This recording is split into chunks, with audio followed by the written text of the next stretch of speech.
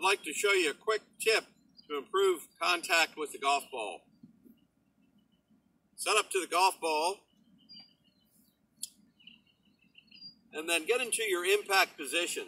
That would have the weight on the target foot, the hands and the shaft slightly ahead of the golf ball, your head in line with the ball, hips slightly turned, shoulders square. Hold that position for five seconds. Reset into your normal position and then make a swing.